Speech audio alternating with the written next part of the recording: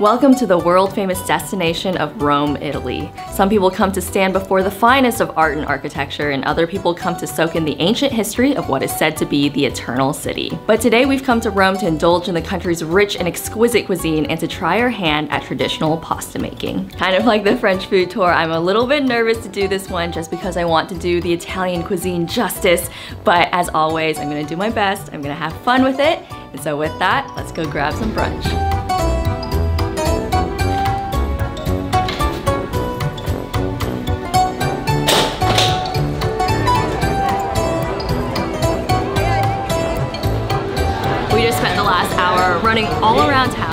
Panicking because it seems like August is the time that all Italians want to take a little vacation and so all the restaurants that we had researched and saved um, were closed unfortunately but luckily we did have one more saved. We are here now and they're open and ready to serve us some delicious Italian food so I've ordered I believe five things from their menu. We're gonna feast up. The very first dish we're trying today is prosciutto e melone and this is a very classic dish to hit the tables of Italy in the summertime. And so I think we've caught it right before it disappears into the autumn. This is essentially a two ingredient dish of prosciutto and melon. And I think that like saltiness from the prosciutto and the sweetness from the melon just complement really well. And that is why they love it here so much. The presentation is very interesting. You can't really see the melon, but if you take all the prosciutto off, it reveals those orange beauties. That is fantastic. It's so fresh, a little bit sweet, a little bit salty. Next up we have the caprese salad and this is a very light salad made from mozzarella, tomatoes, and basil. But this isn't any kind of mozzarella. This is mozzarella di bufala and it is probably the king of all the mozzarellas. This cheese is made from the milk of the Italian water buffalo. So very, very special. So excited to try it and I love that it kind of looks like the Italian flag in color. So throughout our entire meal I've been watching these two women making pasta in the corner and they look so happy and I believe we're about to try some of their homemade pasta. So this here is cacio e pepe which directly translates to cheese and pepper. So you've got two ingredients and you toss in some of that homemade pasta and you've got yourself one of the simplest dishes here in Italy. The waiter did say that it's going to be very salty which I did find a little concerning, but you know, the saltiest things are always the tastiest, so it's gotta be real good. So as I indulge in the bounciest homemade pasta I've ever eaten, I'm just kind of reminded of something that we experienced over in France, and that is just basically eating really good quality ingredients. So back home, we always go to the supermarket, we buy some factory-made pasta, we throw it in a pot, and then we just scarf it up for dinner. But here, we are having delicious homemade pasta because two women woke up this morning and put their love and time into making some homemade pasta so that we can indulge in it right now. And I just love that. And it's the same thing with the cheese and with the meats. It's all time and quality, and you can really taste it. Wow. Oh. We are now taking a step away from the savory and the salty and we're stepping into dessert territory, which is my favorite time of day. So first thing we have here is panna cotta. This is sweetened cream with thickened gelatin and you can get it with all sorts of toppings. We have it here. oh my goodness! And here's the owner of the restaurant. he was behind you for like five to ten seconds. Really? Well, I was so focused on my panna cotta, I didn't even know. Anyhow, you can get this with all sorts of toppings. You can get it with berries or with chocolate. We have it here with some blueberries and some blackberries. And fun little story for you, when I was in middle school, I actually woke up in the middle of the night, I believe at like 3 to 4 a.m. to make my mom some panna cotta for breakfast for her birthday. So I know it takes a bit of work to create this lovely dessert. Ooh, very bouncy. That is so good. It's like an extremely thick and creamy pudding. And the fruits are like the perfect little touch. I think this is probably one of the most classic Italian desserts. Here we have tiramisu, and the literal translation means pick-me-up, and that has a lot to do with the coffee content that is inside of this dessert. So in here we've got espresso and cocoa, sugar, ladyfingers, mascarpone, all the good things. You can see all the delicious layers. Mmm, smells like a coffee shop. One of my favorite desserts of all time.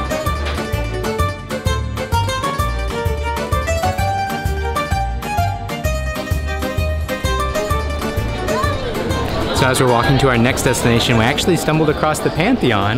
It is one of the most well-preserved buildings that was built all the way back in 126 to 128 AD. And it's a lot bigger in person than I thought. Because as I'm telling, compared to the other buildings that are around it, it's about eight stories tall.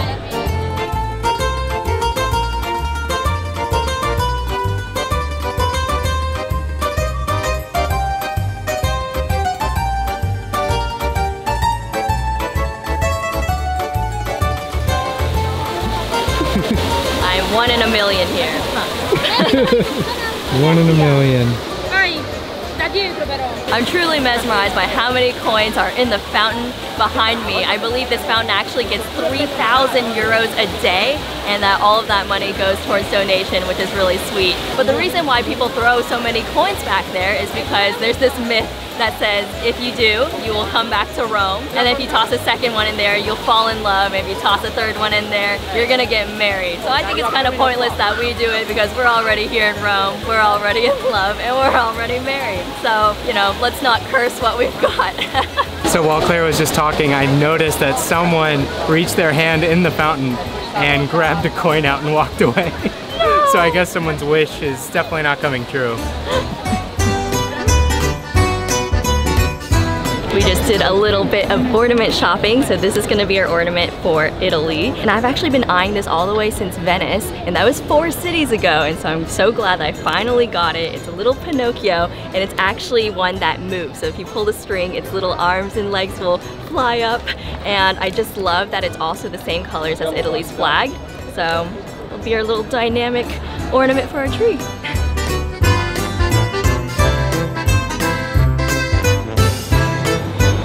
The food tour continues on.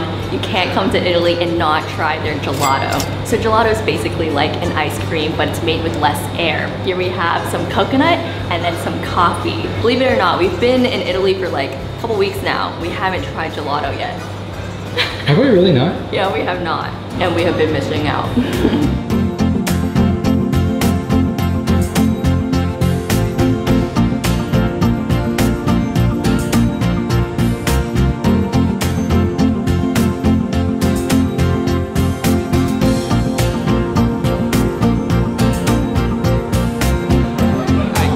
starting off dinner with some Aperol Spritz, and this is something that we had over in Venice. So if you missed that video, we tried lots of different traditional Venetian foods, and we'll link it up there for you um, if you'd like to join us for a day in Venice. Let's see if it's better here or in Venice. Mm. It tastes the exact same. Are these not the prettiest little things in the world? They look like blooming flowers, kind of like the bloomin' onion that you can get in the US, but obviously way better. so this here is carciofi alla giudia, and this is a Jewish artichoke that has been twice fried in olive oil and then sprinkled over with salt and pepper. And it looks super, super crispy, just beautiful presentation. Oh my goodness. It's like a little chip.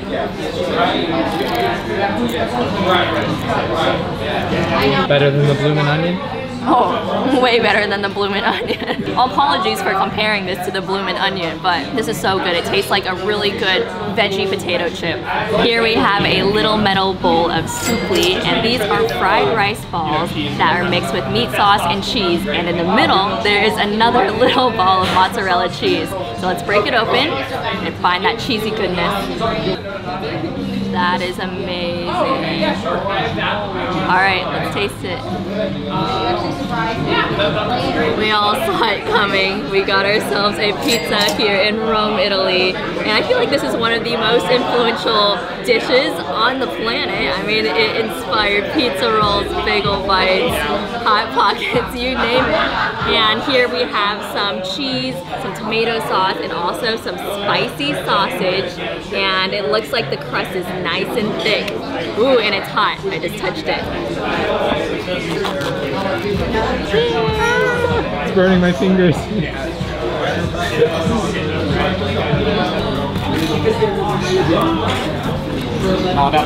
Tomorrow's lunch. Two extras. You got it. Oh, nice. Thanks, Chad. we got lollipops. For the first time in the history of my life, I had a server named Chad, and that was really nice. Yeah, and he wasn't white. Oh, yeah, that's true. We are walking home with 10 different Italian foods in our stomachs and we are feeling very, very happy. But with that, we're gonna end day one in Rome here and we'll catch you tomorrow for some more food. Buon pomeriggio. It is another beautiful day here in Rome, Italy, and we're going to be checking off something that's been on my bucket list for the longest time ever. We're going to go and learn how to make pasta from scratch from a local chef. And this is all thanks to Get Your Guide. And if you don't know what Get Your Guide is, they offer over 60,000 experiences in more than 3,600 destinations around the world, and all the experiences they provide are with knowledgeable local experts. So whether you're looking for tickets or guides to the biggest tourist sites in a city, or if you're looking for more unique experiences like going truffle hunting with the cutest dogs over in Tuscany or hearing a live Italian orchestra perform in Venice, they have got you set. And I think one of our favorite things is their 24-7 customer service and the fact that everything sits perfectly on their app so you don't have to worry about printing anything out. And also you can cancel up to 24 hours before your tour, which is a lifesaver because travel plans will always change when you're on the go. And of course, if you just aren't into guided tours, they do have skip the line options. So you can just basically go straight into the museum, the cathedral, the mosque without the hassle of standing in a very, very long line. So we want to say a huge thank you to Get Your Guide for supporting what we do.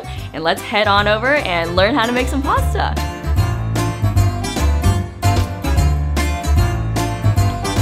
We get cute little aprons to wear.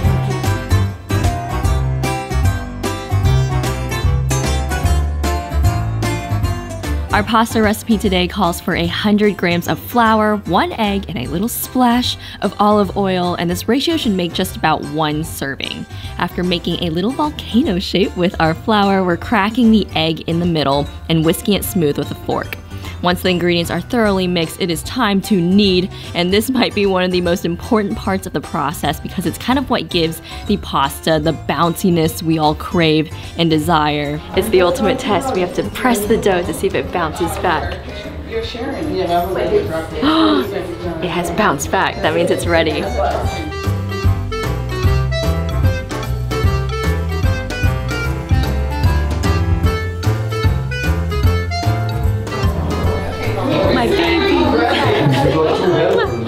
Put our pasta dough to rest in the fridge, and in the meantime, we're gonna go and make some pasta sauce. What I need you to do, we're gonna put the guanciale medium heat.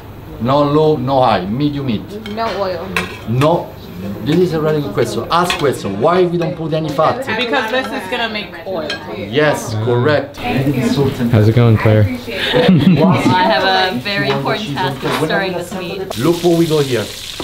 Look how much fat you release. Now they will reach the crispiness because they brownish. Now we can remove it. This guanciale, now that is ready.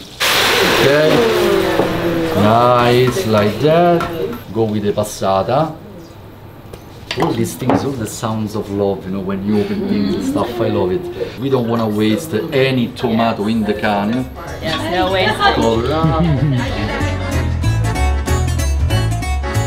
Our dough babies are now up from their nap and we're going to run them through the flattening machine. This is apparently the exact same model as the ones housewives used back in the 1930s when they were making pasta during the war. After running our dough through the machine about four times, we're going to put them through the guitar. Fun fact for you, there are actually over 600 different shapes of pasta, which means you could eat a different shape of pasta for over a year and a half and not repeat the same shape.